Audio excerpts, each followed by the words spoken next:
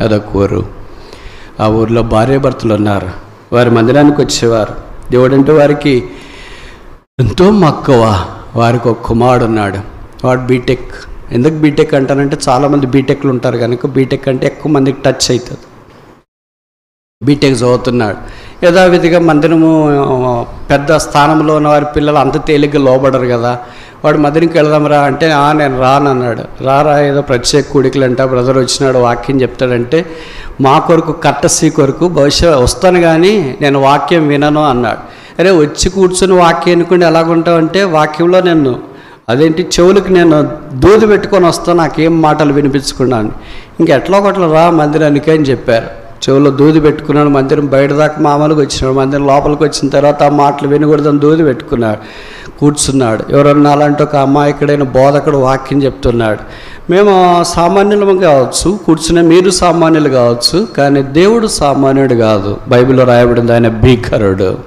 నీలాంటి వాళ్ళని ఎన్నో లక్షల కోట్ల మందిని చూసినాడు. ఆరు వేల సంవత్సరాల మానవ చరిత్రలో ఎనిమిది బిలియన్ల ప్రజలు ఈ తరంలో కూడా ఆయన చూసినాడు. నువ్వు ఒక లెక్క.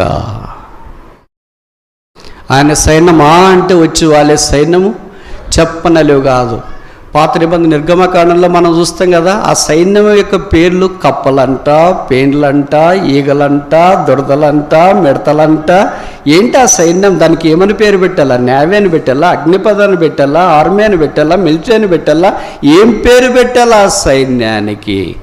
అందుకని దేవుడు అనేది హోవా సైన్యం అది. ఆ సైన్యం అంతా పిలువడం ఎందుకు ఒక బీటెక్ పిల్లోని ఉంచడానికి సైన్యం కావాలా? కొంతమంది చెప్తుంటారు కదా దేవుడు ఉంటే రమ్మని నా దగ్గరికి వచ్చి నాతో మాట్లాడమని నేను నమ్ముతానని.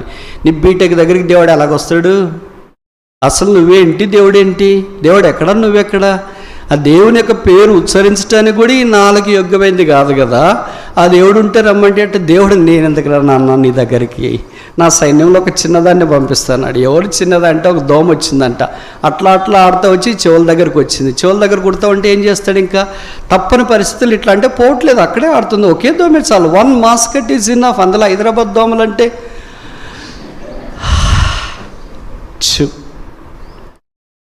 అలాగ ఆడుతుండే చెవుల్లో దూదిట్లు తీసినాడు అంతే ఒక్క నిమిషం. ఆ బోధకుడు చెప్తున్న మాటల్లో ఈయనకి వినపడిన మాట ఏంటంటే చెవులు గలవాడు వినుగాక ఏంటో వీళ్ళు నన్ను గురించి చెప్తారు? అందుకే నాకు రాబుద్ది కాదు. ఎట్లా చెప్తారో ఏమో కానీ నన్ను గురించి చెబుతారు ఆయన ఒకసారి చెప్పుకున్నా రెండు సార్లు చెప్పు మూడు సార్లు కూడా ఇదే మాట చెప్పినాడు అంట మరి ఆయనకు మెసేజ్ లేక చెప్పినాడో ఎందుకు చెప్పినాడో మనకి తెలియదు చెవులు గలవాడు వినను గాక చెవులు గలవాడు వినను గాక చెవులు గలవాడు వినను గాక అని ఈయన నన్ను గురించి చెప్పేటట్టున్నాడు. ఎందుకులే దూది పెట్టుకొని ఇంత ఈ మాట అనిపించుకోవడం? దూది ఇలాగ పెట్టుకుంటే రోజంతా ఇది చెప్పేటట్టున్నాడు. తీసేస్తామని తీసేశాడంట. యేసుప్రభు యొక్క ప్రేమ సందేశం చెప్పాడు. చివరికి ఆల్టర్ కాల్ ఇచ్చినాడు. చెయ్యెత్తింది ఒకే ఒక్కడు ఈ కర్కశుడు. ఇంటికి వెళ్ళిన తర్వాత వాళ్ళ అమ్మ నాన్న పిల్లని పట్టుకొని ఏడ్చినారు.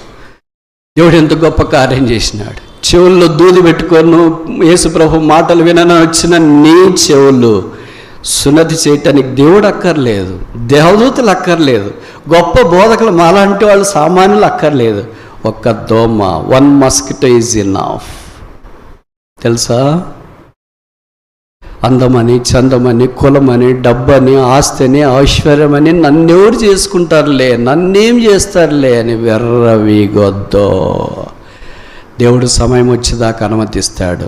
సమయం వస్తే ఒక్క దోమ చాలు ఒక్క పేను చాలు ఒక్క ముడత చాలు ఒక్క రాత్రి ఇటు లైట్ దగ్గరకు వచ్చి లైట్ పొరగలు అంటారే మెడగరు పొరగ చాలు. One small virus one small microorganism is enough to tame you మనల్ని బాగు చేయటానికి ఎద్దును సాధ చేయటానికి చర్ణకాలు అవసరం. గుర్రాన్ని సాధ చేయటానికి చర్ణకాలు కావాలి.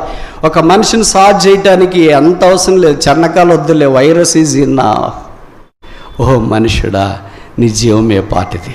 అంతలో కనపడి అంతలో ఆవిరైపోయే ఈ నీటి బుడగలాంటి జీవితాన్ని గురించి అంత అతిశయమా? యేసునంద విశ్వాసం ఉంచు. లోక సంబంధి యొక్క స్థితి నుండి దైవ సంబంధిగా మార్చబడినట్లు దేవుడు నీకు సహాయం చేయాలని మా అభిలాష. అలాంటి వారి కొరకై బల్లా. కనుక